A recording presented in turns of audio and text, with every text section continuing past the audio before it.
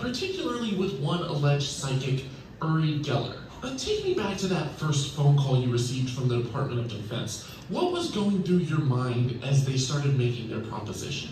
It was December 1972, and I was grading exams at the University of Oregon, where I was a professor of psychology.